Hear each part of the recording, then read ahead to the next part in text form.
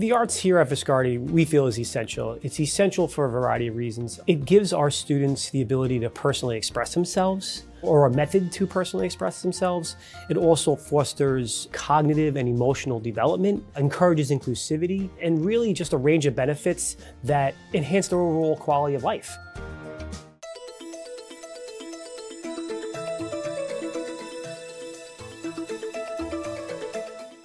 STEM, as we all know, stands for science, technology, engineering, and math, and my classroom is the tech part of STEM. I think technology is a big part of the arts, and I think especially over the last 20 years or so, art has really started to go into the tech world. Art's not only using a paper and pen or sculpting with clay, it's also using different types of media programs, software with technology in order to make art. And I think it also helps make it accessible for people with disabilities. In Mr. Tim's class in art, my 12th graders are making landscape portraits and we're gonna take those portraits and turn them into calendars in my class. So we do a lot of cross curriculum within the art department. So I teach eighth grade and then 12th grade. So I see a lot of students going from their middle school selves in eighth grade where they're kind of unsure of themselves and they're still growing on that confidence and creativity. And then I get to see them again in 12th grade and they've really blossomed into themselves.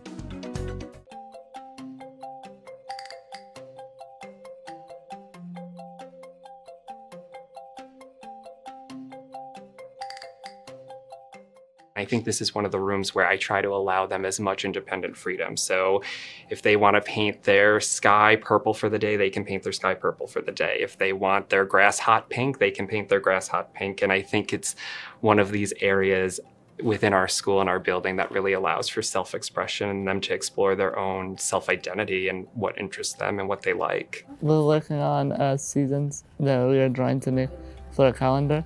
My painting is of January.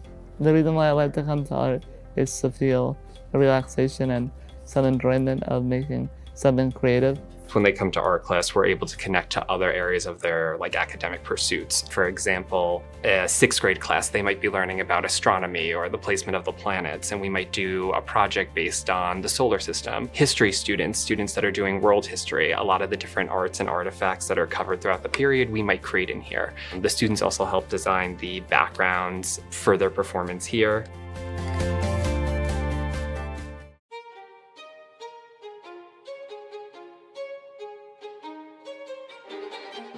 We do a lot of activities with what does the music make you feel like? What does this sound like? Can you connect the music with an emotion? To try and help the students use music as a way to be in touch with their emotions. I've been learning about wooden instruments, the sounds of them. Well, students that maybe can't express themselves verbally can express themselves through movement, through creating music, and that just allows them to kind of connect in a way that they might not be able to verbally. I like to listen to different types of music. Performing in our shows gives me confidence. So the Senior Music Showcase, that was our first year doing it last year, and the reason was just to show the variety of ways that students can use music, create music and express it that I wanted everyone to see what talent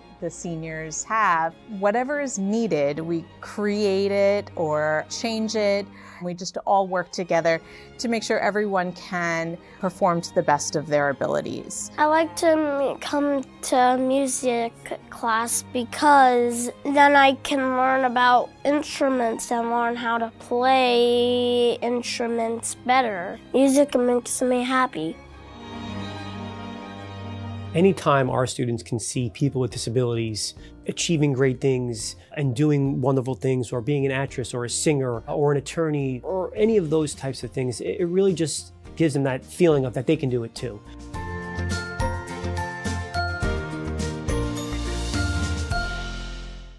This award is for every kid who is watching tonight who has a disability, who has a limitation or a challenge, who has been waiting to see themselves represented in this arena. You are